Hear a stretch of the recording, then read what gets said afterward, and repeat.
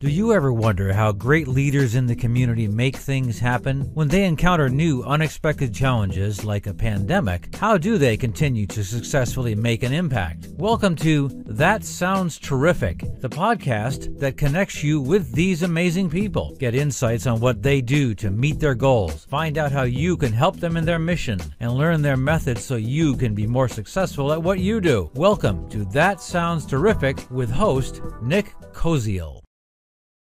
Welcome back, everybody, to another episode of That Sounds Terrific. I'm your host, Nick Koziel, and joining me today is Melissa Marsocci, president and owner of Cornerstone Healthcare Consulting and Management. She is a healthcare entrepreneur and a turnaround consultant. Thanks for being on the show. Yeah, thank you. I appreciate it, Nick. So we're going to call you Missy because that's how I think you yeah. like to be called. Um, yep. But just in case people are looking for her on LinkedIn, you got to search for Melissa. Um, we'll have all of those links on the episode notes, of course. And why don't you just start out, Missy, by telling us a little bit about yourself and your career and kind of how you got where you are now, and we'll sure. learn about you. Yeah. Um, well, you know, so I actually wanted to take the clinical route initially, and that's how I had begun in college. I started clinically, and um, halfway through, I was shadowing in the ER and and as well as the OR, and I just realized I didn't have the stomach for the clinical mm-hmm. side. I actually love medicine, like genuinely love medicine, and I didn't want to leave that industry.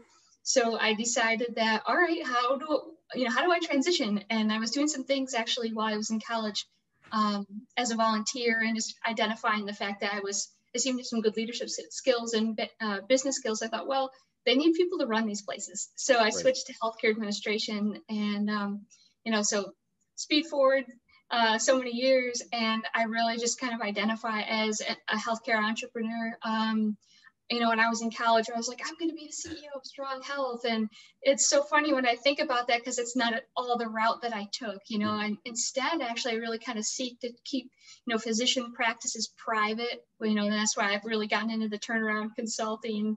Right. Um, so they're not selling their practice like, no, we can we can make you sustainable. It's all right um, and really trying to help uh, physicians identify, you know, what are their goals and how do we reach, how do we attain those goals for them? So it's kind of my story.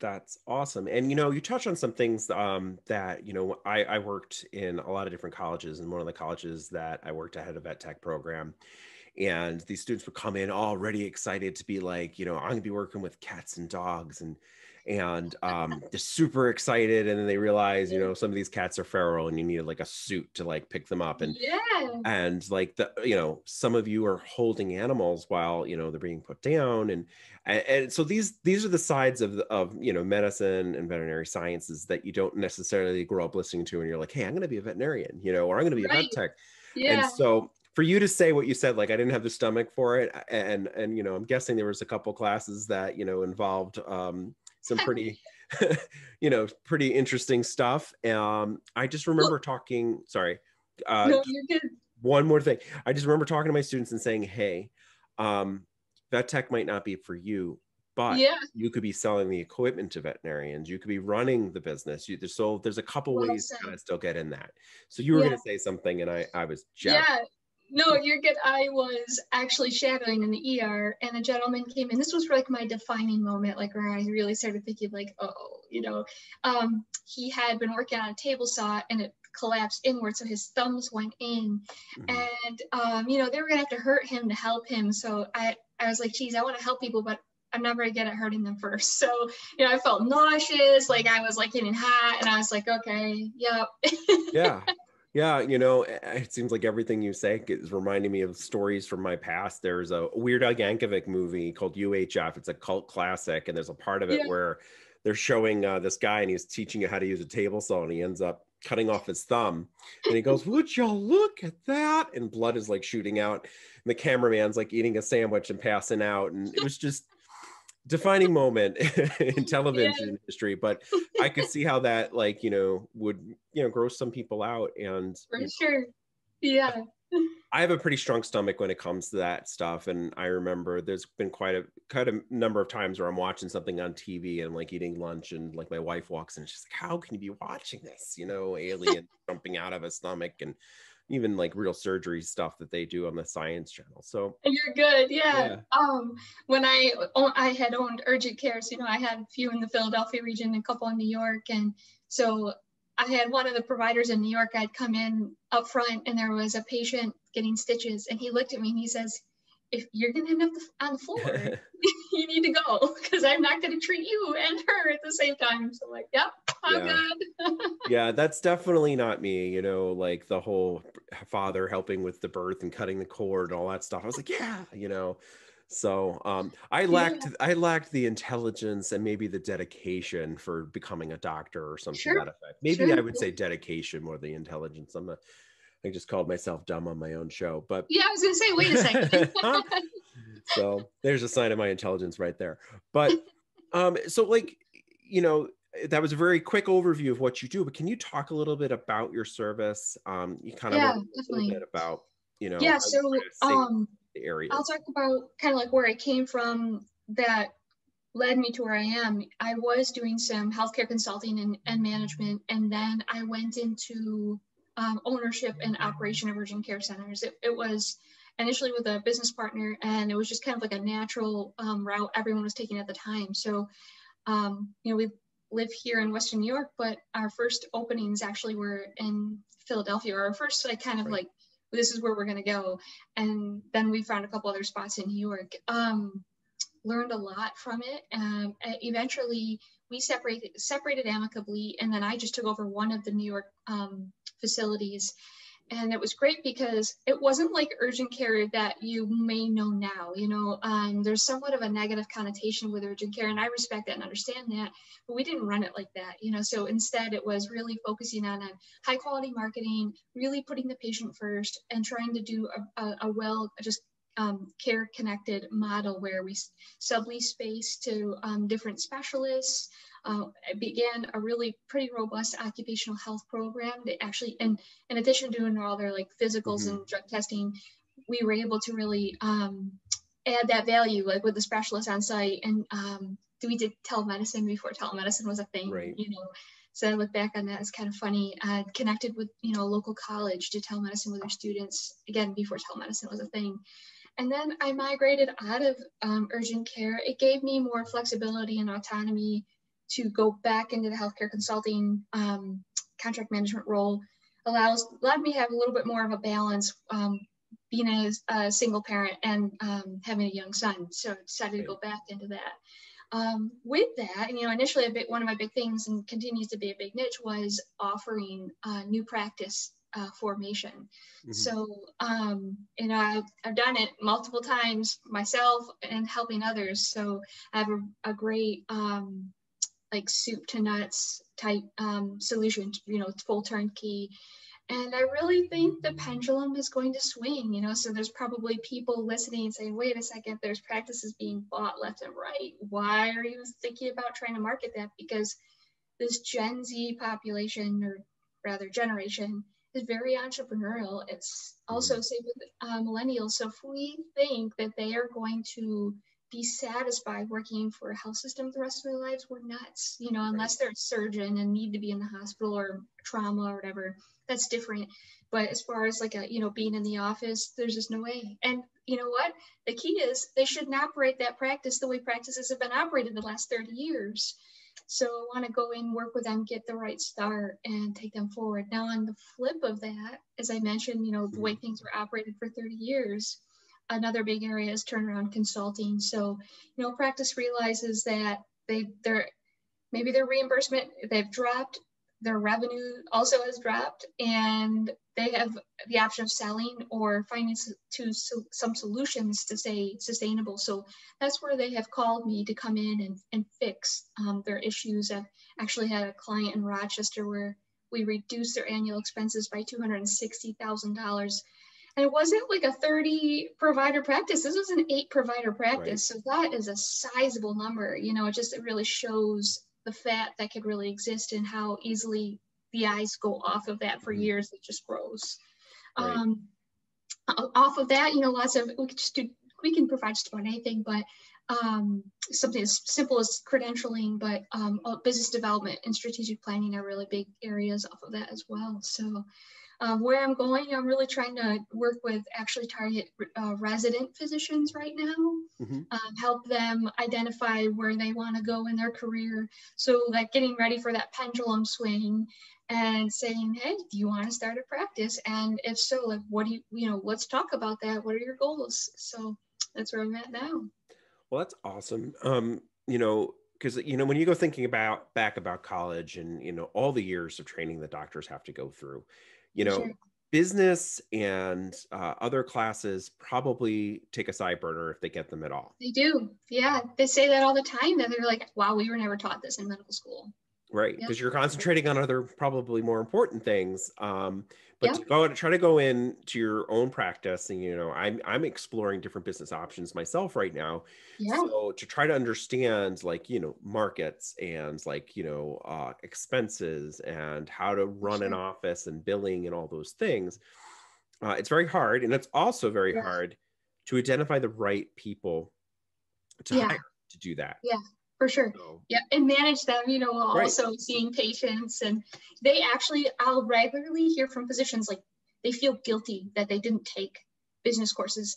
And rather, I I I don't agree with that. I mean, you know, in business we're taught we're supposed to focus on what what what we do well. You know, there's this right. book called the E-Myth Method mm-hmm. that says that like if you try to do everything, you're probably not going to grow and scale um, very successfully. So you have to do what you do well and then bring in other people to help facilitate the other things. So um, in this scenario, I would say they, you know, creating a symbiotic relationship with someone like myself, you know, in, in my organization to help them do what they they focus on what they do best and then right. bring in you know some some backup for the rest yeah that that's important so all right so dr Dr. Smith comes to you and says, I have a problem. Mm-hmm. yeah. I don't know how to run the business end of this this thing. How what's the process that you take? Yeah. So, you know, I'll take you through like a turnaround situation. Like literally I will scrub everything. Um, so, you know, I'll, I'll request an expense report and I want to go through all of their current expenses and usually actually look to see like certain like certain vendors and right out of the gate certain vendors i just know i'm like i know they're paying way too much money mm-hmm. and i'll be kind and i won't say their names you know right. but yeah but you know one in particular i, I can give dollar scenarios um, it's something every office needs mm-hmm. um, and so when they have the one vendor uh, i had i'll give you a couple of, this has happened more than once in the western new york region where sure I've seen them pay a thousand dollars a month and I've got them down to forty dollars a month. Just so you get like that example, like it's just in, it's insane. Um, I also will look at their organizational structure. I'll interview every member of their staff confidentially. You know, I, mm-hmm. I want to hear from their staff and get an understanding of what they think is right and what is wrong. Mm-hmm. And, you know, usually um, most practices are overstaffed and, and sadly, they're a lot of times inappropriately staffed. So you know right. they'll start they'll have somebody that began as a receptionist or something and they've been with the practice let's just say for 10 years and the practice grows and they're like wow you know jane is is really great. She knows our our practice. Let's promote her to manager. You're actually doing not just an injustice to your organization, but also the Jane, you know, because right. she may not have the, the tools in her toolbox to actually manage your practice, especially with the intent of growing. So I see that a lot. And in those situations, I really try to see if we can find a different seat on the bus for them because mm-hmm. we really see their value still. Um, we'll look at also like technology you know it's not unusual where um, i'll see where they have a phone system that's over 20 years old yep and you're like guys you know that's a huge, huge part of efficiency right. you know um, then they're always surprised because then we can get data by uh, an advanced phone system and we can see how many calls they missed. And they're like oh do you think it's the new phone system? We're missing these calls? Like no. You were missing those calls before. You just couldn't measure them. Yep. No. Now you know. No i mean i remember pretty recently we have um, a dental office that was like actually buying physical file cabinets. And so um i mean it was within the last five years so but yeah i mean things like that are a great cost not only to you know time but also to the environment. For sure. So, no absolutely. it's good to have someone like you to kind of come in and say, hey, you know, here's something a better way to do and keep organized. Now with everything going very app based and trying to yes. get all those different systems to talk to one another, do you have like I don't know, I don't want to say preferred partnerships, but you have some go-to companies that you really like I do. know and trust. I um, do, yeah. That's one of the beauties of it, right? So um I've been around the block.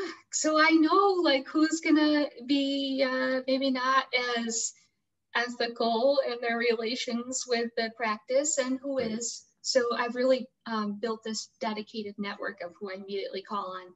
And I'll, I'll say that has um, evolved at times. You know, there mm-hmm. have been where maybe I wasn't satisfied. So I don't want them to feel like, well, she's only going to go to them. You know, yeah. if if somebody's not um, servicing a client of mine, I'm absolutely going to have to look for an alternative. You know, that really matters to me. Mm-hmm. Uh, but I have some really great professionals that work alongside me. So, you know, from benefits to um, medical supplies, office supplies, um, literally, honestly, everything. It's just kind of funny, you know, when I think about it, because people are like, now just regularly call me in the business community like hey do you have a contact for mm-hmm. xyz like i do right so you're a little bit of a networker when it comes to those types of services yeah. and trying to identify like you know the premium um, sure. people so that's awesome um, yeah for sure so one of the things that we talked about like when we first met um, was you know pra- private practices and sometimes when they're like mismanaged or you know are mm-hmm. losing money or, or things like that we end up having them kind of going out and trying to like sell their practice and then sort of reopen under this like maybe franchise or you know different mm-hmm. name mm-hmm. um, and we talked a lot about how that affects patients and yeah. um, you know some insurances uh, get removed and things like that so can you talk a little bit about you know the sure. benefits of talking to you first uh, yeah. yeah you definitely. know before that happens you know what i really want to preface that with is so i hear this all the time from from physicians there'll be amongst the partners at least one that's like oh we should look to see what the health system wants to offer us because they just have this thought that they're going to get paid millions you know, for their practice and i immediately halt them because what i have seen happen more than once is sadly, uh, health systems have their their business, right? They have to operate like a business. So if you go desperately seeking um, an opportunity for them to buy you, they're not going to buy you. They're going to set up next door to you, and they're just going to take your patients and let you die off. You know. So um, I, I would really like to definitely express that as caution. You know, um, when they come, uh, I apologize. What was the question again? So we are just talking about how, um, you know, instead of selling your practice or trying to move your practice to like a franchise model or something like that, talking to you pros about options, pros and cons of that. Yeah. Um, you know, to me as a patient, I've been through that remodeling yeah. and yep. the cost goes up and uh, some like one time our insurance was no longer covered you know just things like sure. that to kind of think about when you're a doctor and you're looking at for sure your practice I've definitely I've met with multiple physicians when they're exploring the option, um, when they're not quite sure yet if they want to uh, continue being private or sell. Mm-hmm. And uh, one of the other things that I caution them about is I have never heard a positive story where when they sell that everything worked the way that they were promised. It's right. always the opposite that they're promised the world, but as soon as they sign, it's not that at all. It's right. usually actually a very negative experience um, and I, am really not trying to embellish that. Like that, that's just mm. really, I've never ever heard a positive experience about a practice selling to a health system. Right. After that, I mean, all hell breaks loose for them because they no longer have control of their staff. So mm-hmm. the, the health system will bring in a manager who's responsible for multiple practices, not just theirs. The staff become frustrated because there's all these changes and they they don't see their manager but maybe once a month um, a part of those changes that they want to talk about are their benefits. So right. um, I'll tell you, there's a local health system, and I, I, to this day, it just baffles me, but they put outpatient clinics on the same benefit structure as the hospital. So where that's negative um, is Christmas Day. It, of course, the practice is closed, but the hospital's not closed. Right. So it's not actually a holiday. So you have to take vacation time for that. Mm-hmm. And so I've heard that over and over again. Um, and the fact that you have to start over. So if they were at that practice, maybe they've built up quite a bit of vacation, like because they've been there, as I say, you know, 10 to 20 years. Now you're at the bottom again. Yeah. Um, so the staff are just completely frustrated. From a patient perspective, and, and you're obviously you're going to lose a lot of your staff because mm-hmm. they don't need billers. They have a billing department, you know, right. and I'm sure they recognize that. But just to, you know, this these are just realities that if if we're having an honest conversation, we should present these things. They, you know, they don't need your manager, just things like that. Um, then on the um, patient side, I do hear that it's funny how patients have been catching on. So, um, you know, initially they're probably a little naive about the change, but I will hear regularly from patients where they'll say that they don't like their practice anymore, that they've right. been a, you know, a patient for years. Um, the customer service isn't the same. Or, or, and maybe the health system introduces new things that maybe aren't bad. It's just that patients aren't ready for it. So, um, for example, yeah. I heard of one where they put a kiosk in the waiting room. Mm-hmm. Sure, that's great, you know, but you can't depend on that 100%, especially if this has been like this family atmosphere practice, especially in a small town, just things like that. Those are dynamics that they need to understand. Yeah, if you have a lot so, of elderly patients, yeah, trying to yeah, fight with that. Yeah. Mm-hmm. yeah, yeah, definitely. So there's some real cons to explore, you know, before taking that dive. Yeah, you know, and like I said, I've witnessed them myself a couple times. Um, even you know, in a previous place we lived, where like I literally had a doctor's appointment like one week, and then I had a follow up like two weeks later, and in that time they had switched over, and so you walked oh, in, it was like fully renovated. They didn't really tell you that. Like I think we got a letter or something. Say, hey, we're now blah blah blah. Yeah. You know, and then Which you walk in. You read it, right? and you mentioned the kiosk, and that and that that was one of the things that I remember was kind of like everything was you have to electronically sign in and and like half the people that I knew were gone and you just didn't know. And it made me think, you know, at the time, not as seriously yeah. as we're having this conversation, but I'm like, eh, wonder where Amy went or, you know, whoever.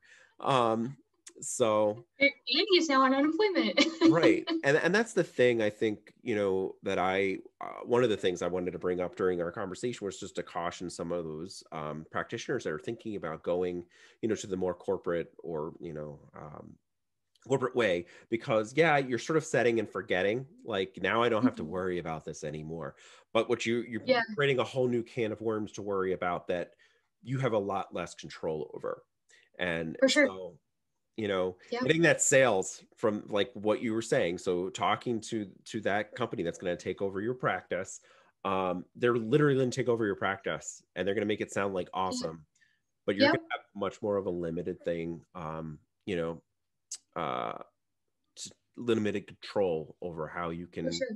you know change if at all and you know i would say i should be fair too is like could there be some positives on depending on the situation? Sure. You want to retire in a year? You know, you want to mm-hmm. retire now? It, it could be an option. You know, at that point, yeah, it won't be perfect. Right. Nothing's perfect. And I'm not sure if this is related or not, and maybe you can you can answer this question. But the other thing that I've noticed when some of these changes have happened is that all of a sudden the the the um the doctor's gone. You got you got a million PAs coming in and cycling yeah. through. You never see them again um, you know, the same person twice. Um, and they definitely miss things because of it because mm-hmm. everyone has a different note style, even though it's supposed to be a uniform, you know. Yeah. So that is because with the health system, they have, uh, for lack of better words, a quota. So that's how there's they have to see so many patients uh, within a certain time frame. If they don't meet that, then that's going to impact their income. So yes, yeah. um, that's where certain providers all like will always know that they could never fit that model because they want to be more personable with, with the patient. They want to have the time with the patient. So yes, that's a big piece of that. And uh, your advanced practice providers, you know, so your PAs and your NPs, they're the money makers. Yeah, they um, they are they're half the cost, and they're you know 80% of the reimbursement, but um, if they're half the cost, the math works, right? So they're at least half the cost, if not more. It just depends on the specialty. Yeah, that well, that makes sense because they don't have as much of the education and, and as much of the Yeah. experience and expertise per Yeah. se. You know, although I, I have I have listened to some nurses and their advice on on certain things that like Yeah. seem to almost contradict the doctor, but For sure. um, they know what they're talking about too a lot of the time. So it's interesting because one of the other things, that, and this is maybe is I don't know the real statistic, but I had heard this through uh, an insurance company that was talking about our benefits, and um, they had said that there's a real shortage on um, family practitioners because Mhm. it's not yes. the the quote unquote sexy uh, thing to go Yeah. into. You want to be a specialist of something when you're leaving medical school. Yeah. Yeah. So all of these things sort of seemingly add up to you know having you know more and more issues um, within For some of these practices. So, um, do you have like a list like on your website or or or people that you've helped in the past that you kind of share or you know here Yeah. are some of the recommended practices that you know you've helped in the past? For sure. Yeah. So um yes, on my website there there are some uh, list of practices that I've helped. Um, one of the things too is uh, invariably I always actually build such great friendships with them. You know, Right. so these are people that I even stay in contact with. Um, in Rochester, you know, Penfield OBGYN, English Road Pediatrics, um, Buffalo, uh, uh, I, let's see, UBMD, Mhm. um, Empire OBGYN, um, Maine Pediatrics. I opened Cedar Pediatrics and uh, Trinity Pediatrics, not affiliated with Catholic Health. Just, She Mhm. just liked that name. Um, yeah, opened Three Little Birds Pediatrics in Batavia. Awesome. So it's quite a it's quite a, a lengthy list. So Yeah. um, I just I bring that up just in case people are looking for you know new practitioner or somebody you know that they can Yeah. trust. And um, since you're you're an expert in this field, I want people to be aware of people that you've helped in the past. And that's great to hear that you've stayed connected too. oh yeah, um, definitely. Yeah. So I, I would imagine that a lot of your services is, is sort of word of mouth networking referral. Uh, Yeah, yeah. So actually, it's been exclusively that. Um, so I am trying to do better that way. You know, as I have a good friend that's a marketing uh, firm owner, and he's harping on me. So I'm working on that right now. And uh, actually, um, I, I'm getting my logo updated, and um, we're gonna redo the website again. Um, awesome. Yeah, so all these things that I'm trying to do better. I'm really great at helping others, but it's just like the mechanics have the worst cars, you know. That's this guy. So this guy has lots of great advice on social media and marketing and and what to do and what not to do and how to, you know, post consistently and provide lots of content. But does he do it? no. So I'm getting a lot better at that. I'm getting a lot better at that. So Nice. um but it's you know it's good also to be sort of humbled and and you know get advice from from other For people sure. and consultant yeah. so you know Yeah. you same thing sort of goes for you right there are Yeah. things that you know you can definitely wear the hat for but things that you also need to maybe hi- hire Oh, account for so Yeah.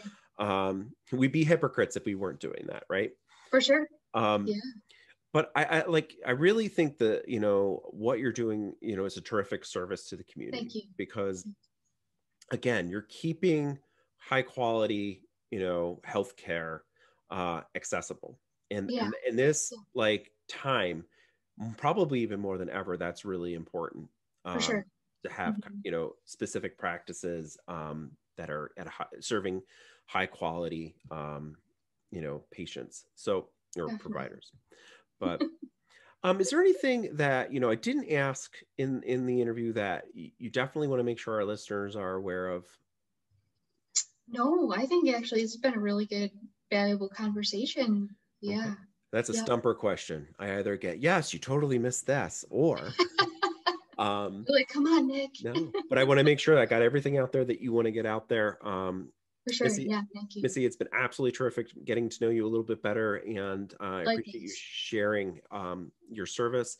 Uh, like I said, I'll have your contact information in the show notes. Um, I highly urge any practitioner or any health service person that's looking for um, help in, you know, managing their practice or, you know, looking at the options and even some small things. I'm sure you'll you'll take care of, just like payroll, human resources options.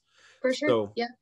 Reach out to Missy and thank you so much for being on the show. Thank you for joining us in another episode of That Sounds Terrific. Don't forget to check out the show notes and our website at thatsoundsterrific.com to find the contact information and the best ways to volunteer with the organizations that we feature. If you know someone that is doing terrific things and think they should be featured in a future episode, be sure to email us their name, contact info, and short description of what they're doing at thatsoundsterrific at If you like our show, give us a five star rating and give us some social media love by liking our Facebook page. That sounds terrific. Follow us on Twitter at Sounds Terrific too, and Instagram at Sounds Terrific. We love hearing your feedback on how to make our show sound even more terrific. Till next time.